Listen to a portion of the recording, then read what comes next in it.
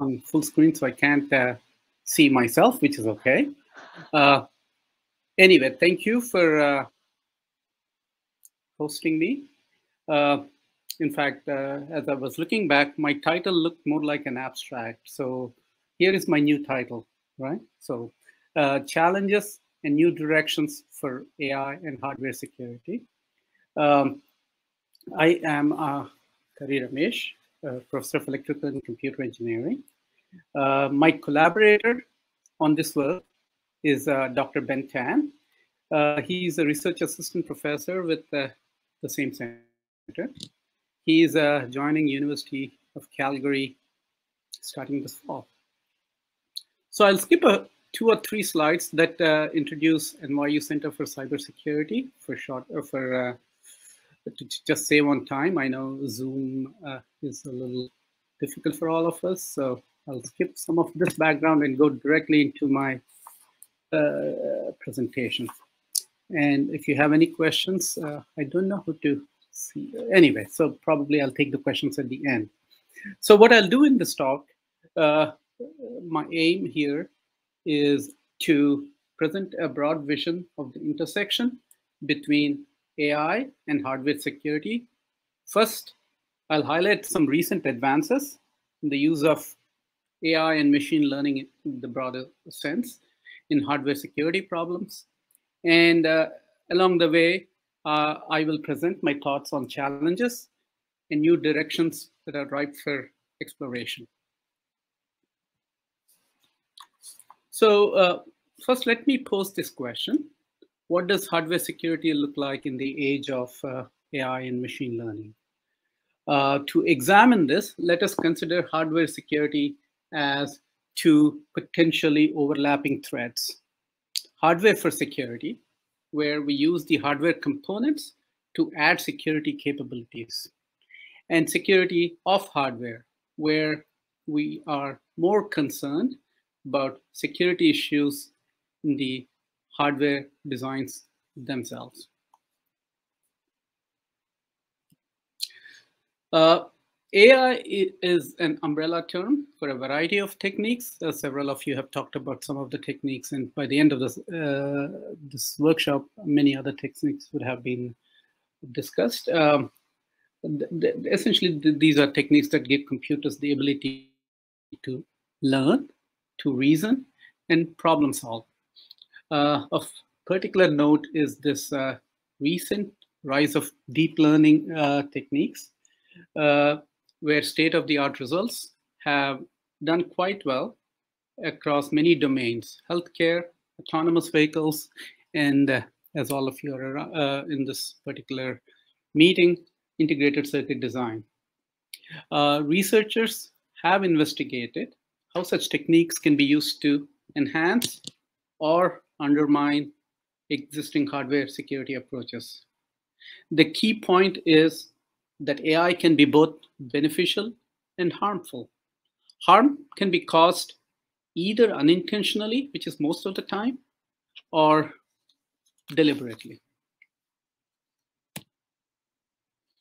Uh, let's take a look at the hardware for security, where hardware components are used to provide a foundation for system security beneath potentially untrustworthy software.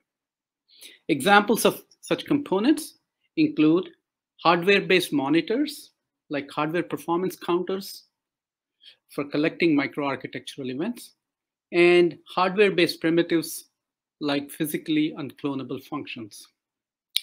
So in one embodiment, defenders can use AI and ML to monitor and discover stealthy attacks by using these hardware-enabled observations.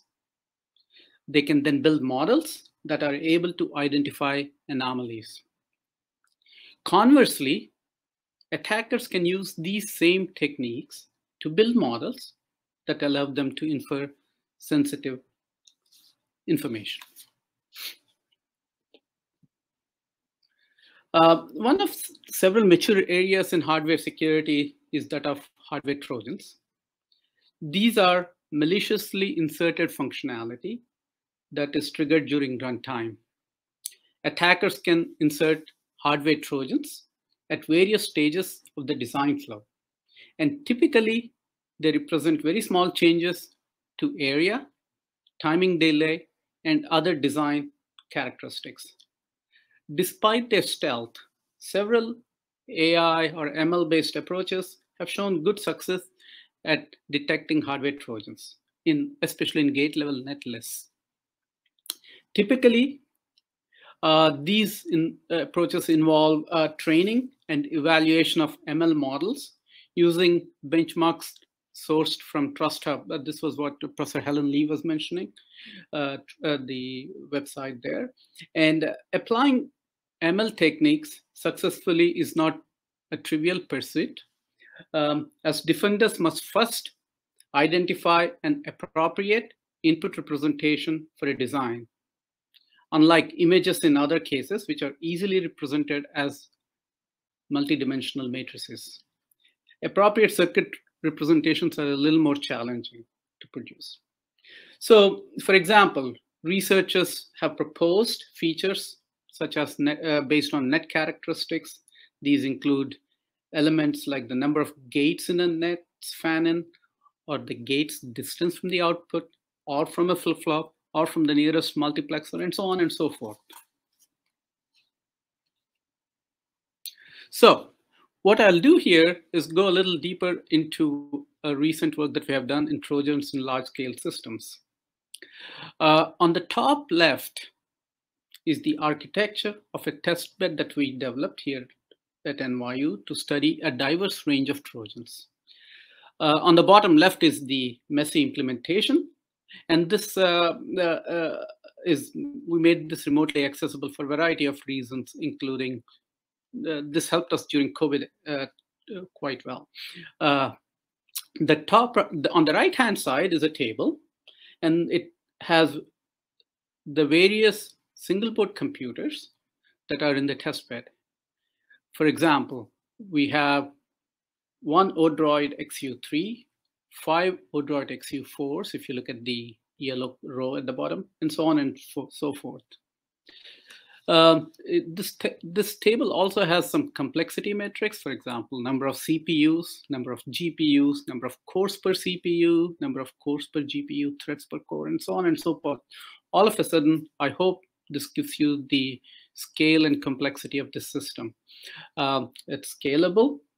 You can add additional platform, uh, additional boards. It's complex. It's heterogeneous, and one key thing is it's software reconfigurable into different interconnect topologies without making any hardware modifications. So uh, these are, uh, I don't know if you can see this table. I usually cannot because my glasses are a little not as powerful, but anyway, side channels, here are some side channels supported by the single board computers in the test bed. Hardware performance counters count various events. These could be, for example, number of instructions, branches taken, and so on, when code is executing. For example, ARM Cortex on Raspberry Pi allows for uh, simultaneously reading or monitoring six hardware performance counters, although they support many more. HPCs are built into all CPUs, all GPUs in the single board computers. The HPCs supported differ from one CPU to another and from one GPU to another. And you can see those things in this particular chart where you see a tick mark where it's supported and the next where it's not supported. So what we then do is collect a time series of these HPC measurements as a temporal profile of the code executing in the processor or on the platform. Uh, for each of these platforms, we could use a different set of HPCs based on the HPCs that are supported. For example, for one of these, we used, uh, for many of these, we used uh, uh, instructions, branches, uh, stores, loads, instruction cache misses, and uh, L2 data cache misses, and so on. Um, each of these platforms, again, support HPC sampling at uh, different sampling rates to collect HPCs. Um, we use uh, PAPI, which is a performance application programming interface library that can convert remotely to individual processes and uh, reads uh, the performance counters for that particular process when it's executed. So besides these uh, digital performance counters or digital side channels, as I call them, uh, these boards and in general systems support a range of other side channels such as thermal, power, uh, and fan, and so on and so forth. Here are some Trojans. Uh, at the hardware level, the tro uh, hardware level Trojan, the adversary could potentially insert or modify a hardware component uh, to modify the I/O operation between boards. I call them the machine in the middle, the MITM, and they connect to I/O lines between the boards. The attacker may either disable or tamper a component on the SBC or single board computer.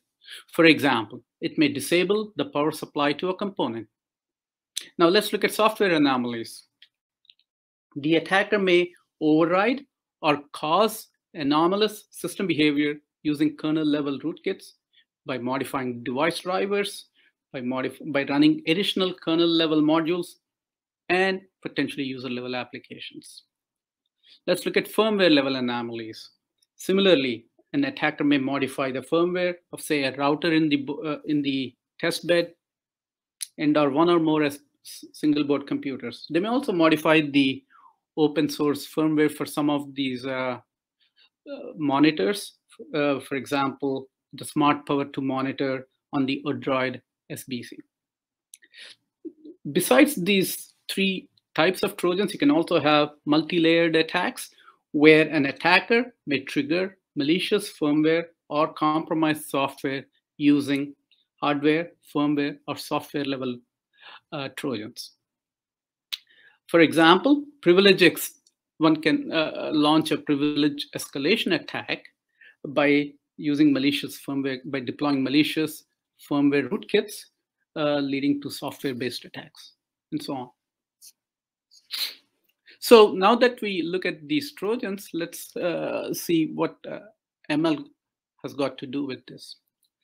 Um, as a defender, as I mentioned, we start with a time series of these diverse side channel measurements. Uh, the time series of these HPC measurements is a temporal profile of the execution of the code. Uh, and we read these HPCs at different sampling rates for the different platforms, and we align them and uh, so on. Then this is what we do. We validate that the collected traces and, uh, and the relationships between these traces by one, checking for design-based equivalences and inequivalences. And we also check for approximate feature-based rules and interrelationships between side channels. So if you look at this carefully, the top part essentially, so the threat model is a designer designs this board. So they have a schematic and they outsource the fabrication and building of this board. So the designer, since they have the design, they can, they know the expected uh, uh, software that they expect to have on the platform, the expected behavior of the individual devices, and so on and so forth. That's the top part.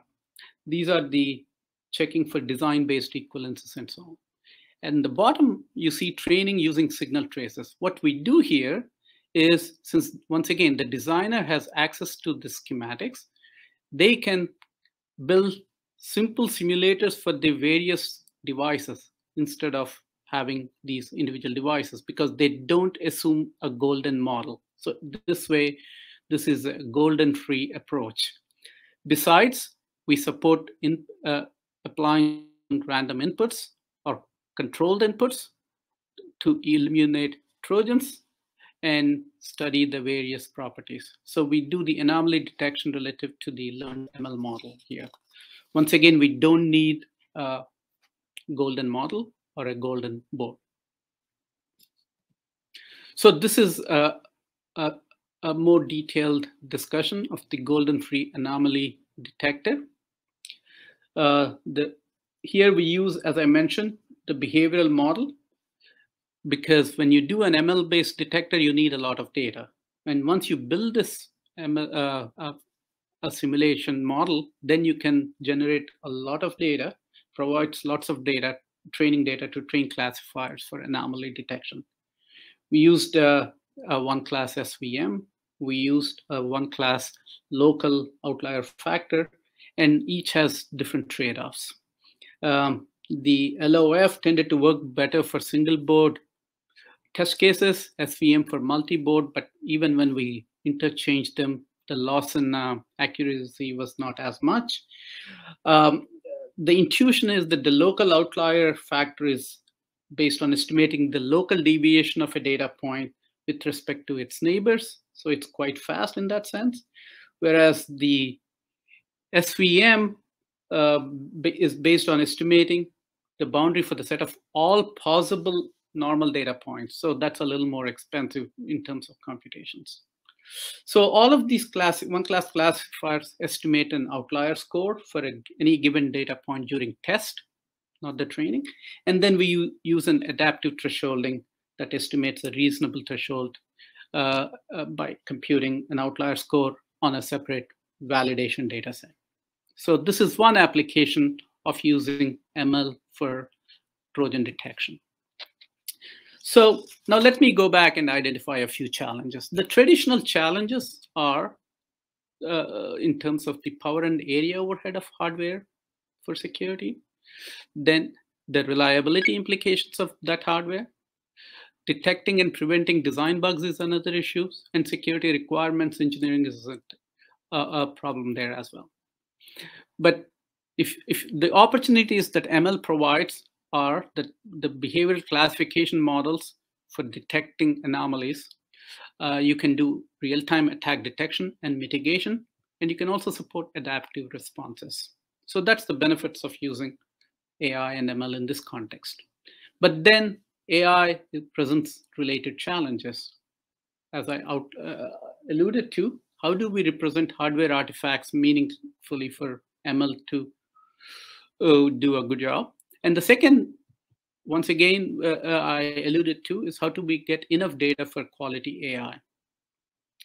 Uh, and finally, there are the threats associated with the use of ML. For example, although I didn't talk about it, model building attacks on physically unclonable functions. Automate the ML automated bug detection and exploit generation uh, is another thing that the attackers can use using the AI. And just like the defenders, the attackers can also use adaptive side channel analysis. So um, an emerging development in the literature, and uh, is the focus of this particular workshop as well, is AI and ML techniques in the hardware design flow. For example, researchers have applied a variety of techniques at various design abstractions and design stages. For example, system level prediction of hardware overhead. For example, for logic optimization, test point insertion, and uh, all the papers or a majority of papers in this workshop. So these efforts essentially represent new approaches for handling scalability challenges and improving design turnaround time. So this illustrates a typical iterative design stage with uh, deep learning in the loop, where DL models are used to support decision making and design space exploration. Consider logic synthesis as an example. The success of MS uh, machine learning algorithms has prompted researchers to re-examine logic synthesis, whose heyday was in the late 90s and early 2000s. The overarching question is, in this context, can past experience lead to informed decision making for future problem instances? So far, design engineers use their experience from past synthesis runs to intuit a good synthesis recipe for a new IP to scale up designs, and to enable faster design sign-off, uh, researchers formulate learning tasks in logic synthesis domain and propose ML algorithms to solve them. One such problem is to predict synthesis recipe quality, i.e. identify if a recipe will generate a good quality design for an IP by training a model on data from a few synthesis runs.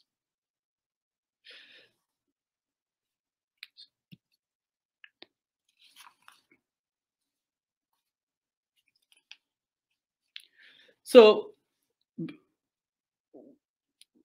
while these techniques claim state-of-the-art performance, the implications for hardware security in light of untrusted supply chains and malicious insider threats remains ripe for uh, exploration or exploitation, where defenders can use ML to detect security issues.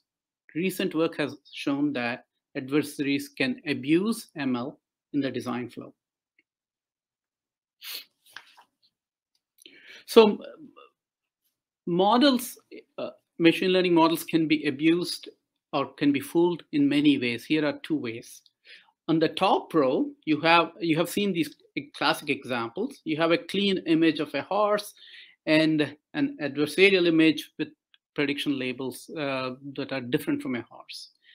Uh, the adversarial perturbations are so minute as to appear imperceptible. And if you look at the bottom, uh, one can poison the training data, not just the input, but the training data. A stop sign with a sticky note can then trick the model to show that it is not a stop sign. So is AI in the IC design flow immune to such attacks? Defenders can use AI and ML to detect security issues, as we talked about that. Adversaries can abuse AI in the design flow. So this points to larger concern of not just vulnerability, but uh, points to the fragility of ML-based approaches. So uh, to, uh, one has to consider the robustness of the developed ML frameworks uh, or the tools that you develop, at least in terms of AI and ML and its growing role in hardware design. If the security of hardware relies on parts of the supply chain being properly safeguarded, AI and ML in the design flow may add new attack targets. Every tool is vulnerable and at, uh, new attack vectors and likewise, and, and so re requires uh, careful analysis and defending. So let me go to a, a quick example in terms of lithographic hotspot detection, one more classic uh, layout level uh, technique where ML has been applied. Here, an adversary can subvert a DL-based lithographic hotspot detector by means of semantically meaningful adversarial input perturbations. This is akin to the perturbation in the horse, but here it has to be semantically meaningful.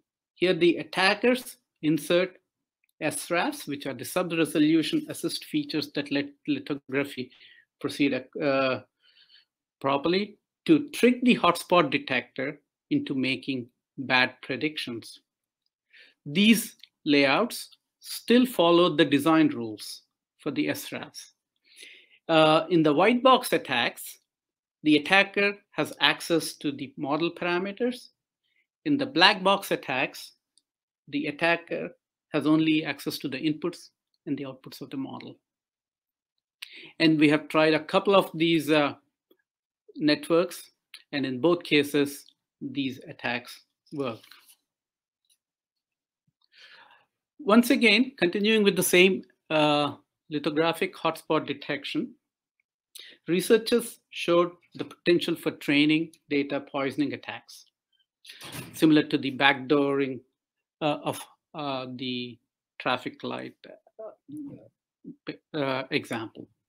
During design, a malicious insider can coerce the hotspot detector into turning a blind eye to a hotspot containing layout clip, despite its high accuracy under benign settings. Nefariously, poisoning involves adding layout clips that are honestly labeled and are thus near impossible to identify ahead of time as a result. To address these potential attacks, recent work attempts application informed defenses where data is meaningfully transformed so as to reduce this backdooring effect.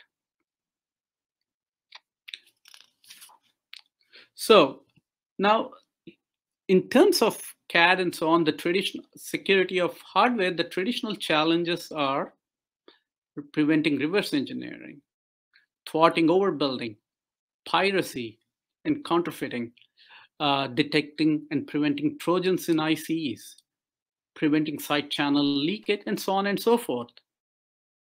And as I pointed out, ML presents opportunities to improve design flows, to discover security techniques, to automate Trojan detection, to automate bug detection, to support analysis and patching and so on. But as I pointed out, ML threats are need to be carefully considered. ML vulnerabilities under adversarial settings, especially since ML-based tools are very fragile. ML-based signal analysis that the defenders use are also accessible to the attackers. Similar to decision making using ML for the attack defenders, the attackers can also benefit. So quickly, uh, what I had done is I presented examples of the benevolence and the malevolence of AI and ML. On one hand, defenders can use ML to monitor and discover stealthy attacks. Conversely, attackers can use the same techniques to build models that allow them to infer sensitive information.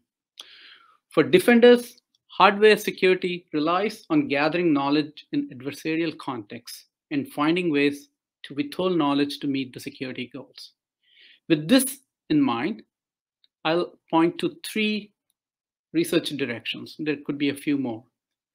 So runtime decision making and response. As we saw, ML used for behavior monitoring, the next step could involve generating active responses.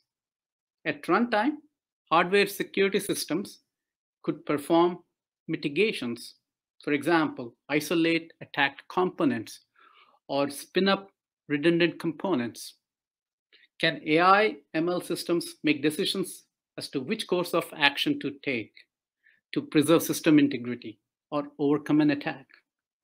Building along this avenue could be the exploration of uh, generative ML, such as generative adversarial networks where models could generate new responses when faced with threats. In terms of design analysis, we'll need to create new representations for hardware design artifacts. For example, several of the works are beginning to use graph convolutional networks to deal with netlists as, sub, as graphs. Others are transforming hardware design artifacts into images. So which representations are ideal, which are better, and which are better for what context? These are interesting questions to investigate. Another challenge in hardware security is formulating security properties to begin with and using these properties during the design uh, or guiding the design, guiding the analysis throughout the process. So uh, finally, understanding the implication of ML vulnerabilities. Uh, vulnerability to adversarial input perturbations, we saw those. Training data poisoning, we saw those. Can raise these can raise new issues for safeguarding and uh, integrity of hardware design flows. Now you are adding additional tools. Now you got to be careful of not only the existing tools, but these uh, new set of tools that are ML based. So more work needs to be done to fully evaluate model robustness, and how this might pose risks to hardware. So the key takeaways, as I conclude, are as follows. Hardware security in general continues to pose numerous challenges. AI seems to provide new opportunities for both the defenders and the attackers. So the more conventional short-term uh, takeaway is that you can use AI ML to find new patterns in existing data, both for detection, both for modeling, and for both for an attacker and a defender. Uh, further down the road, one can envision AI and ML tools as an attack vector in the design flow. And further down, AI-based decision making and generation and adaptive responses are an important design, uh, an important research area. So with that, please check out our papers, reach out to us, and if you have any questions, comments, or feedback, let me know. Thank you for your patience.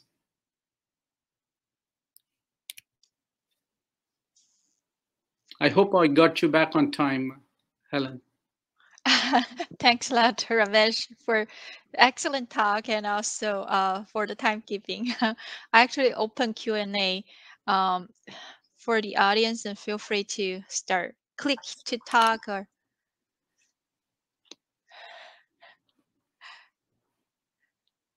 yeah, I guess then you know this and uh, new interface is, is a little bit. We need a little bit of time to learn about this. And uh, Ramesh, I really like your summary here. Uh, it will be in Bible book in the futures, and for people whoever working on uh, cybersecurity, machine learning, and also system designs all together. Thank you. Is there any questions from audience? I finally figured out how to use Q&A.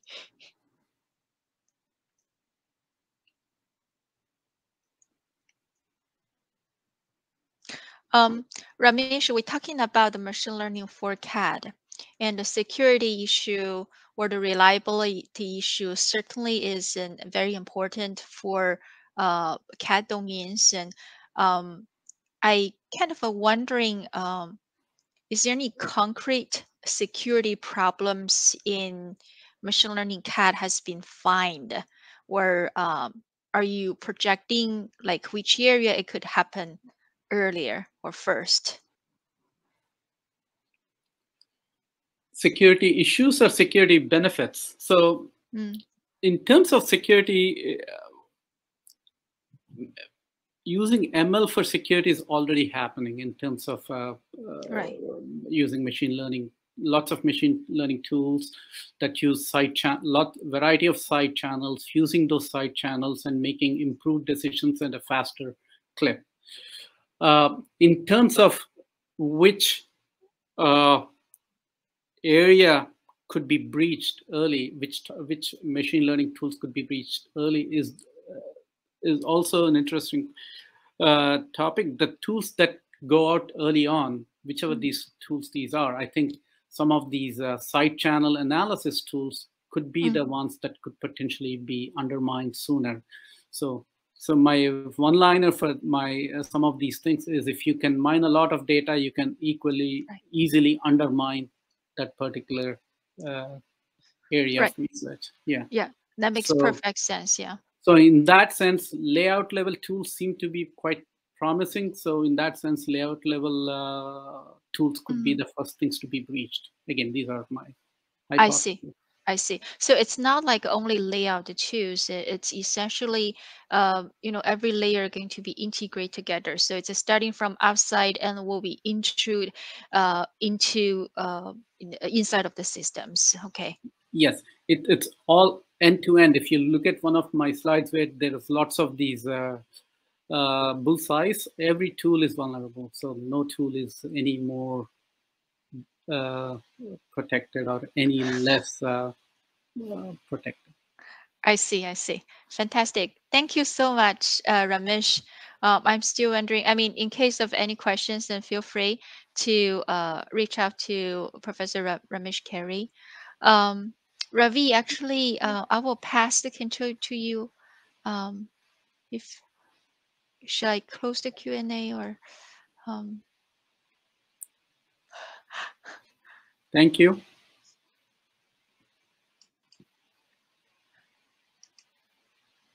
So um, Ravi, are you still here?